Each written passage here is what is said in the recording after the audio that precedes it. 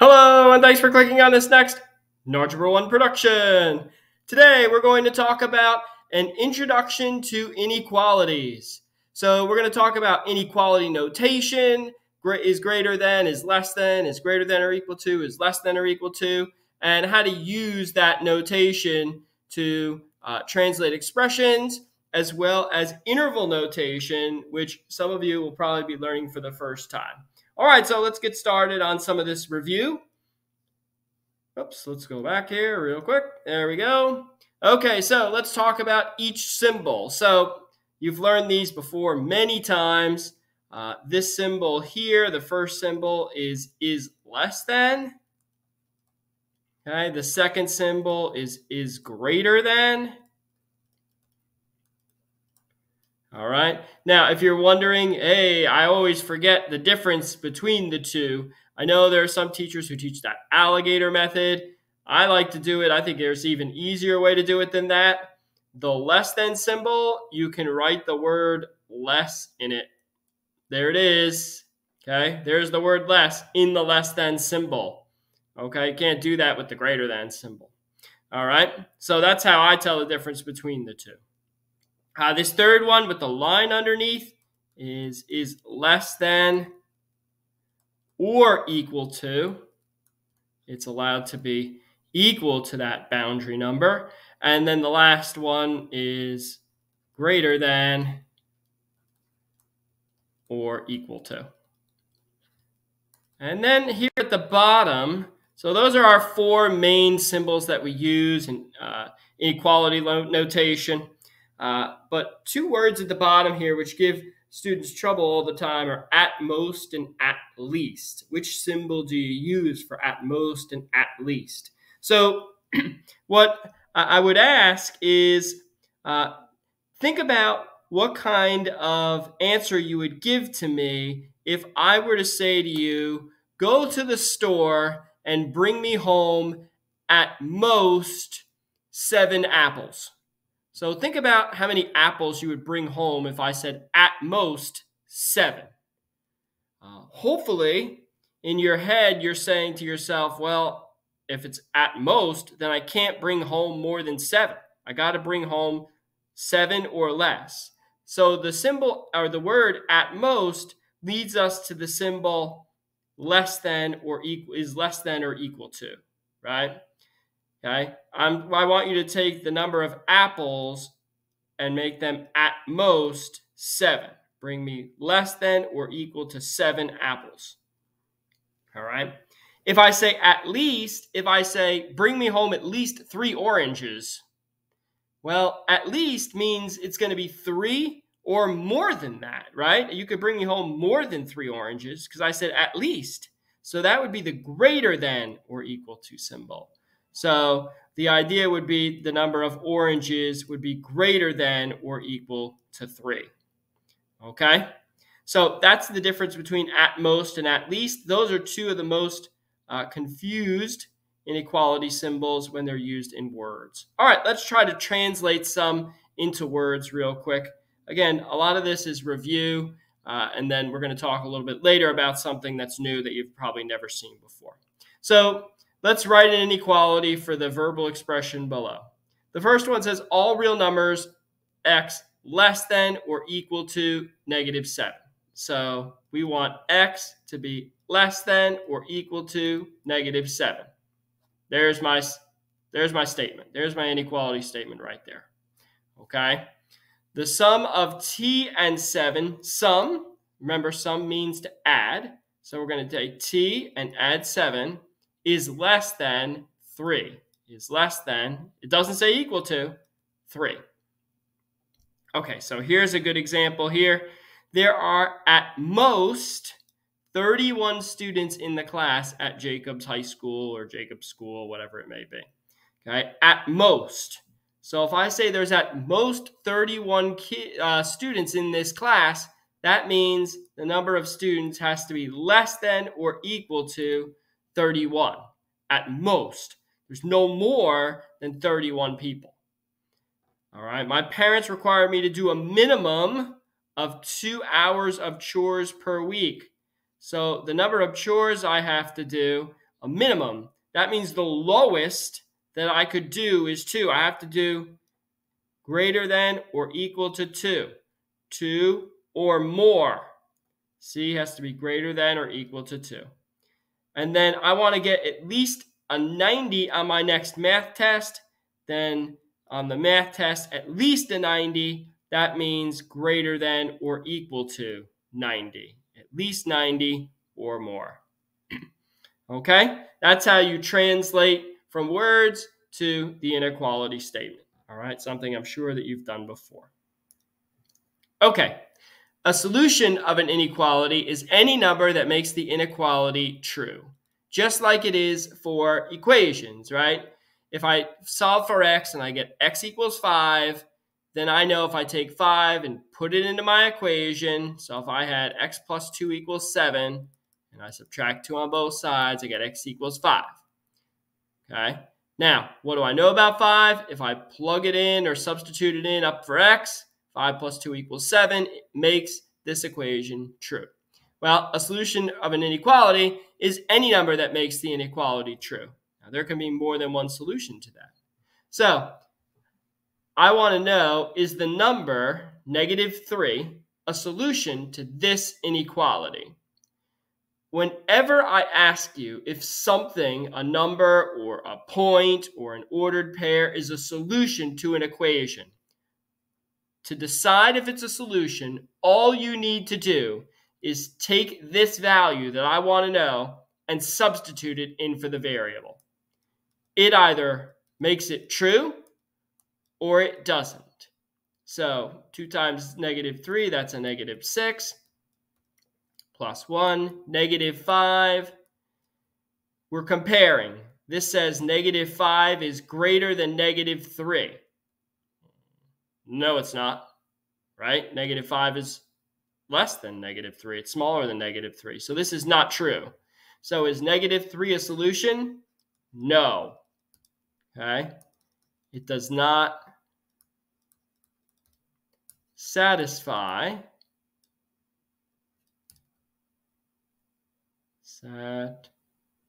satisfy the inequality. It doesn't make this inequality true.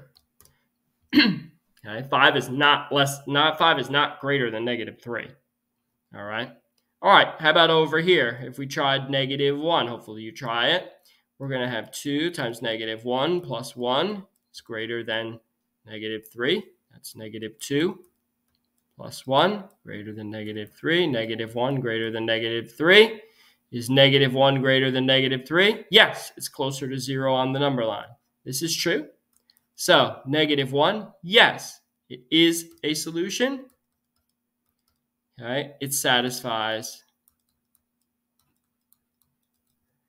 the inequality. Or it makes the inequality true. You could say that. There's a couple things that you can say. Those are two of them. It satisfies the inequality. You could say makes it true right? It makes a true statement. Negative 1 is in fact greater than negative 3. Okay, you're closer to 0 on the number line. On the negative side. All right? All right, so that's how we figure out if something is a solution to an inequality. We just take the value, we substitute it in, it either makes it true or it doesn't. Okay, next thing that we're reviewing is you can use graphs to indicate all the solutions of an inequality. Now remember, if I want you to graph n is less than negative 1, or I'm sorry, n is less than 1. We'll put a 0 there, we'll put a 1 there. n is less than 1. That means all the numbers to the left of 1 are solutions. But 1 is not a solution. It's not allowed to be equal to. So we use an open circle on the boundary number on one. It's an open circle. One is not included. Okay. So if we have an open circle, the boundary number is not included in the solution. If we use a closed circle, the boundary number is included in the solution. Like in our second example there, uh, if we have negative 2 is greater than or equal to x. All right, now, this is what it looks like on my number line. Negative 2 greater than or equal to x. I have 0, I have negative 2. It's allowed to be equal to, so it gets a closed circle. It says negative 2 is greater than or equal to x. If I read this from left from right to left, though, it says x is less than or equal to negative 2. x is less than or equal to negative 2. How do I graph x is less than or equal to negative 2? We go up and to the left. Okay, just be careful. Um, some of you may have learned that the arrow tells you which way to draw your arrow on the graph. That's not necessarily true. If the variable's on the left, then it is true. If the variable's on the right, you'd have to rewrite the inequality by reading it from right to left. x is less than or equal to negative 2. And then you could do that. You cannot use that hint if the x or the variable is on the right-hand side. Okay. All right, let's practice that uh, a little bit here. Let's graph the solution to the inequality shown below on the number line. Here we go. So on my number lines uh, that you're going to make for me, you're going to put 0 on there, and then you're going to put whatever the boundary number is, which in this case is 3. This says x is greater than 3, so not equal to, so it gets an open circle boundary number is not included, and x is greater than 3. Where are my numbers that are bigger than 3? Over this way, 4, 5, 6, 7, 8. There's my solution. x is less than or equal to 5. Put a 0, put your boundary, 5. x is less than or equal to, so it gets a closed circle because the boundary number is included. It's allowed to be equal to it. x is less than that, less than 5. So those are numbers like 4, 3, 2, 1. We go up and to the left. And then finally, we have negative 7 is less than x, which if you'd like, you could rewrite, read from right to left. This would say x is greater than negative 7. So x is greater than negative 7. Put a 0. A negative 7 goes to the left of 0. x is greater than negative 7. So not equal to. So open circle and then greater than. So we're going to go up and to the right. Okay, all the numbers bigger than negative 7 are to the right-hand side. So there's a couple of examples how to graph the solutions, the inequalities that have been shown. All right. Now let's talk about interval notation. Okay. Our solutions can also be written in interval notation using brackets and parentheses. So the idea is we can take a graph and instead of making it or writing it as a graph, we can put it in this interval notation. This is new for most of you. All right. A bracket is used to indicate that a value is included. Oh, that's not spelled right. L U D E D, included in the solutions. Okay a bracket. This is a bracket. Or this one, depending on which side the number's on. Okay.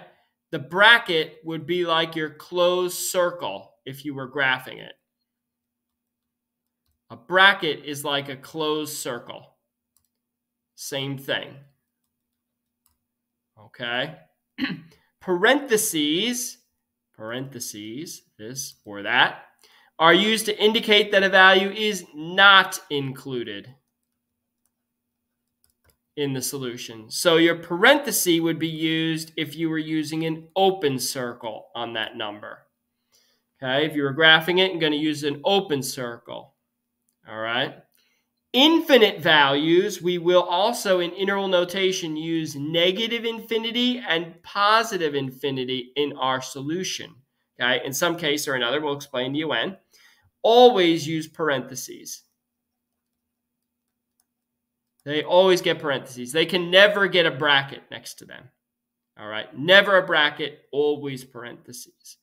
Okay. So let's show you how to write things in interval notation. Okay, let's try some. So we're going to graph them first, and then I'm going to show you how to translate from graphing it to interval notation.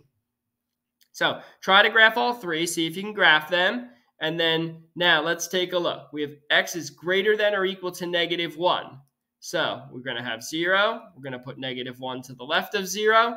Uh, it's allowed to be equal to, so the boundary numbers included. I put a closed circle on there, and then I go up and to the right.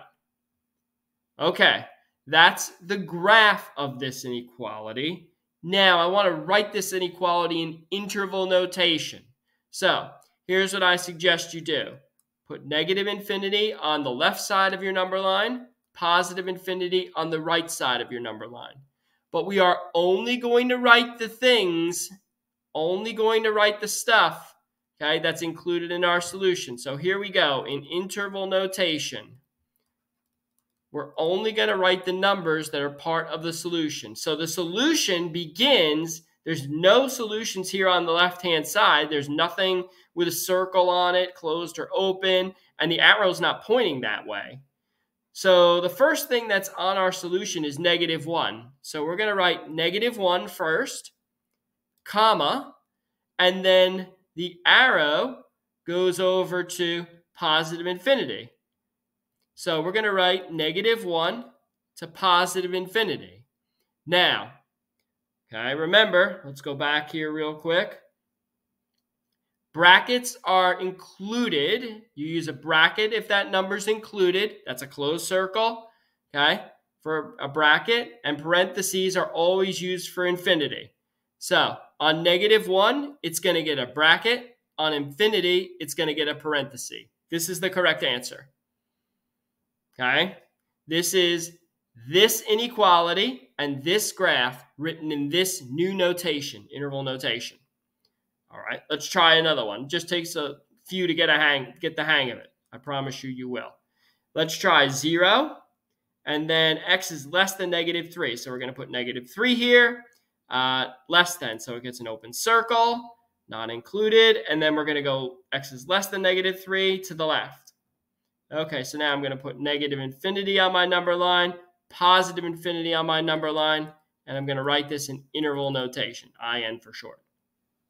All right, my arrow is pointing toward negative infinity. So on your number line, you always go smaller to bigger. So we got negative infinity first. And then the last solution that we're going to talk about is negative 3. That's the last thing that's marked on my number line. Nothing is marked to the right of negative 3. There's nothing over here marked. There's no arrow going that way, nothing. Okay? So we don't include anything else. Now, Negative infinity. Infinity signs always get parentheses. Negative 3 is an open circle. If the circle is open, then it gets a parenthesis. That's what we did on the last slide. This is your answer in interval notation. And then we have negative 2 is less than or equal to x. Let's switch that around here we would have x, if we read from right to left, x is greater than or equal to negative 2. x is greater than or equal to negative 2. We're going to put a 0. We're going to put a negative 2. Uh, it's allowed to be equal to, so the boundary gets a closed circle. We're going to go up. x is greater than that to the right. So we have negative infinity here, positive infinity there. Interval notation. Uh, our solution, now that's not pointing toward negative infinity this time, so we're not going to use that. We're going to start on the negative 2, and then the arrow points towards positive infinity. So we're going to use positive infinity. Okay, negative 2 first, positive infinity second. We write them in order from left to right. See, we did it here as well. Left to right, left to right. All right. Uh, negative 2, it's allowed to be equal to. It gets a bracket, okay, close circle, and then infinity always gets a parenthesis. These are the correct answers in interval notation. All right, it takes some practice. Okay, we will practice a lot. Uh, we will get better at this, I promise, but it does take some practice to get used to it. Okay, next, you can also take a graph, right, and write it in inequality notation. So these numbers, x, are numbers, well, we're comparing x with 4, right? 4 is the last number on this number line. There it is. It's got an open circle on it. So that means it's not allowed to be equal to. So, and the numbers are pointing to the left. So we want x to be less than 4. That's our solution in inequality notation. x is less than 4. Now, in interval notation, same way we did, put negative infinity, positive infinity. The arrow points towards negative infinity, and then 4 is the last number there. So we're going to have negative infinity. We're going to have 4. Negative infinity gets a parenthesis. 4 is an open circle. It also gets a parenthesis. That's your answer. In letter B, this is a closed circle. Okay, so we're going to compare x with negative 1. And from negative 1, we're going to the right. So x is greater than or equal to, it's a closed circle, negative 1. There's my inequality. And then we'll have negative infinity, positive infinity for our interval notation.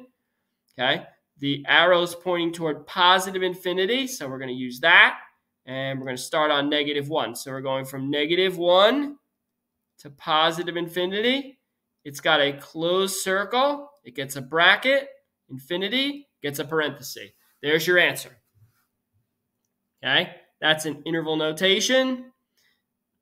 All right, and your inequality notation. So you have to be able to use anything that's given to go from one to the other and back again.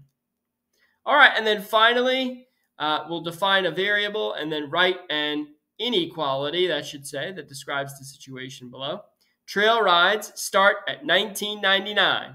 So we'll be, we'll say T for the number of trail rides. They start at 1999. So if I say, you know, the price starts at 1999, that means it's 1999 and up, right? 1999 plus. Okay? So T is going to be greater than or equal to 1999. And that would be my inequality. Okay? And that's it. That's how we write things in inequality notation. That's how we graph things, uh, solutions to inequalities, and how we write them in interval notation. All of these we will continue practicing. Okay? And as always, thanks for clicking.